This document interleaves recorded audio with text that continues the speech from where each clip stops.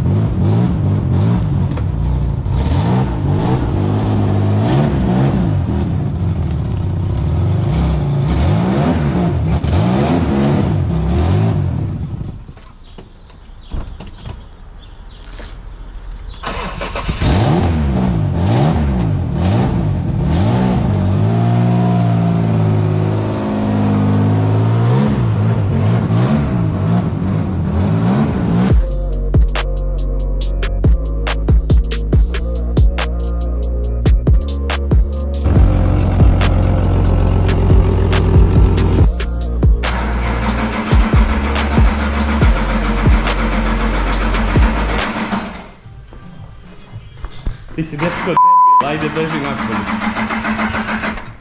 Beži.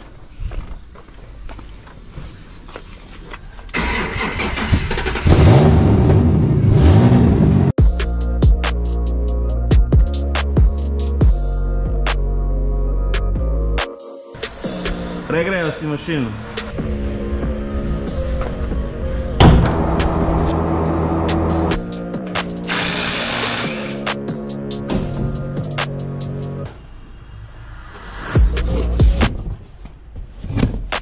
Reci ti meni gdje idemo mi sada? U Čačak na drift, šta ćemo da radimo tamo? Dobro, ajde.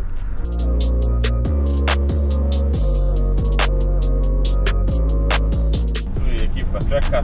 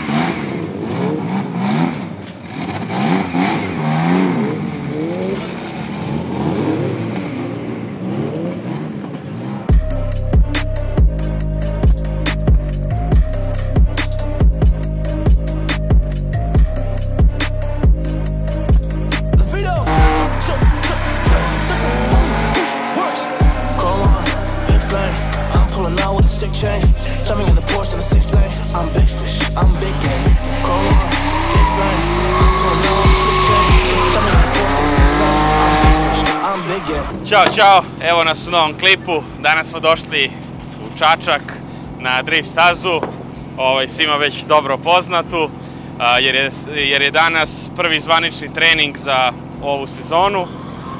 Nisam sastavio moj auto, danas vozimo ovaj auto, a sad ću vam pokazati malo kako on izgleda.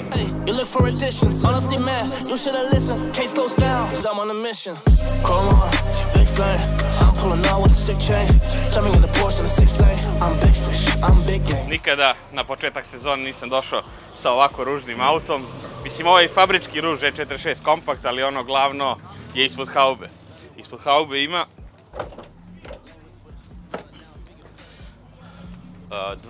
289 turbo M50. Uh, kažem 289 pošto ga nisam ja sastavljao, nego smo ovaj auto, ovaj, ovaj auto je kupljen ovako kompletan, radi i evo ovdje imamo upisan podatak da je 0,8 bara i da je izmjereno 480 konja. Ne izgleda tako, ali auto baš praši.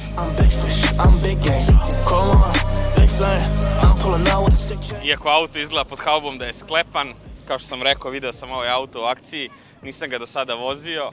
A, vožnje na 402 metra, nisi siguran koje, koje vreme je napravio, ali ovaj, auto ide baš dobro. Što se tiče samih prepravki, trapovi su fabrički, jedino što smo namontirali su gevinde i zamenio sam letvu volana jer nije imao servo uopšte. Trap nismo uspeli da naštelujemo zato što su zaribale ovaj, spone i tako da kako smo namontirali to je što je. Ne stoje loše točkovi. A, pored toga nismo imali nikakve prepravke, samo smo se spakovali i došli na stazu, bukvalno da vidimo koji će deo da nam otpadne sa auta.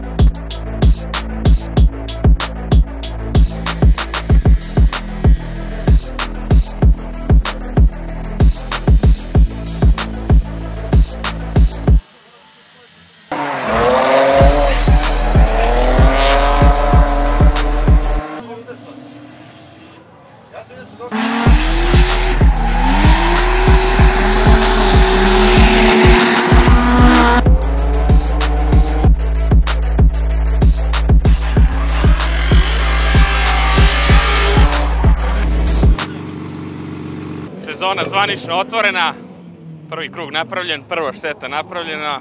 Ovaj, počeli smo kao i uvek. Što se tiče samog auta, a, ima dosta gripa, kratak je i dosta brz. Sad jedina mana je što nema napred trapove, pa nemamo povećane uglove i bukvalno gde premotan tu se i okrećem. To se i desilo ovde.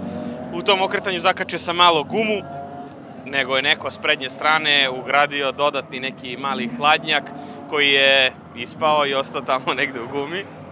Ovaj, ali momci su već prevezali ta creva, tako da nastavljamo dalje.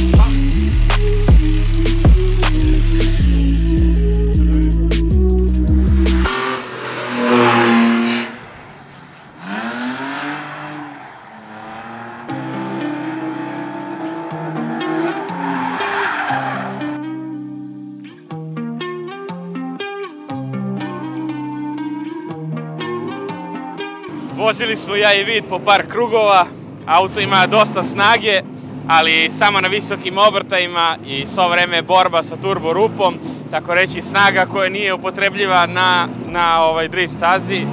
Za obi verovatno trebao da bude neki manji turbo koji hvata niže i izbacuje ovaj manju snagu. Ali svakako dobra zabava, vratio me ovaj auto jedno sedam godina unazad kad sam počinjao i kada nisam znao da vozim. Bukvalno mi je takva borba u kolima sa volanom, gasom i sa svim ostalim. Tako da ovaj, sad ćemo vidjeti još koji krug da, da provozamo i to bi bilo to za danas.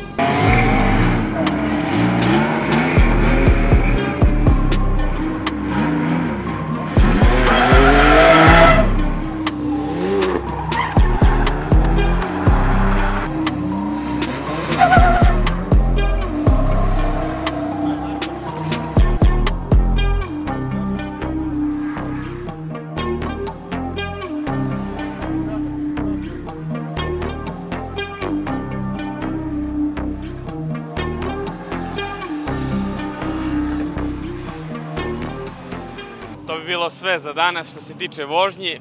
Uh, generalno ja sam zadovoljan. Došli smo, vozili smo se, vraćamo auto kući u jednom komadu. Mogo je da sluša bolje i volan i gas i sve, ali ipak treba dosta posla da bi jedan auto bio dobar, lagan za vožnju, tako da ovo je maksimum ovog auta.